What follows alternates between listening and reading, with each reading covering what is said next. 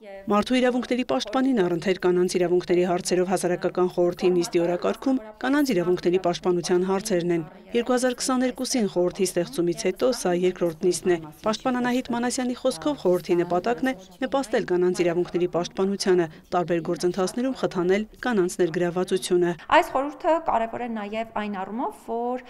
մարդու իրավունքների պաշտպանին առընթեր, այսինքն անկախ պաշտոնատար անձին առընթեր այն միավորում է նաև քաղաքացիական հասարակության ներկայացուցիչներին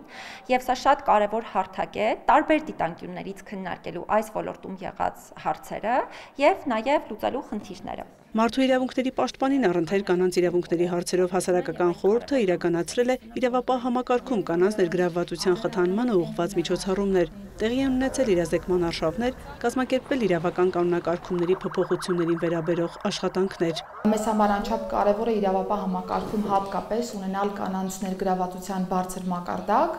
եւ մեր թիրախն էր հենց սկսել բարեկային ծառայությունից, որբիսի այն ծառայությունը, որն այս պայդրությամբ կարծես թե կարելի ասել նոր ստանդարտներով ձևավորված միակ ծառայությունն է ոստիկանության համակարգում, փորձենք հենց այս լավ օրինակի վրա ունենալ կանանց ներգրավվածության խթանման գործողություններ, որբիսի հետագայում կարողանանք արդեն տարածել ամբողջ ոստիկանական համակարգում։ Ներքին գործերի փոխնախարարի խոսքով իրազեկման արշավի ու նաև համատեղ ջանքերի արդյունքն է, որ բարեկային ծառայությունում ընդգրկվելու համար ունեն 900 կին դիմորդ։ Սա շատ խոսուն թիվ է ընդհանուր առմամբ եւ ոչ միայն մենք կենտրոնացել ենք իրազեկման միջոցառումների վրա, այլև հետևելով գործողությունների ծրագրին հիմնականում ձեռնարկել ենք մի շարք այլ միջոցառումներ եւս տարբեր օրենսդրական փոփոխություններ եւ այլ փոփոխություններ, որոնք թույլ կտան իրականում խթանել կանանց ներգրավվածության բարձրացմանը բարեկային ծառայությունում Պաշտպանի խոսքով գործունեության կարճ ժամանակահատվածում խորհրդի ուշադրության կենտրոնում են եղել նաև կանանց նկատմամբ բռնության աշխատանքային միջավայրում ինտեգրման հարցերը, որոնք ըստ Մանասյանի կարևոր են իրավունքների պաշտպանության պատշաճ համակարգ ձևավորելու տեսանկյունից։ Թիրախային աշխատանքը հետագայում մենք նաև այլ խնդիրներ ենք հասցեավորելու, մասնավորապես քրեակատարողական տարբեր հաստատություններում կանանց իրավունքների պաշտպանությանը վերաբերելի, կանանց տնտեսական հզորացման հետ կապված հարցեր, որովհետև ակնհայտ է, որ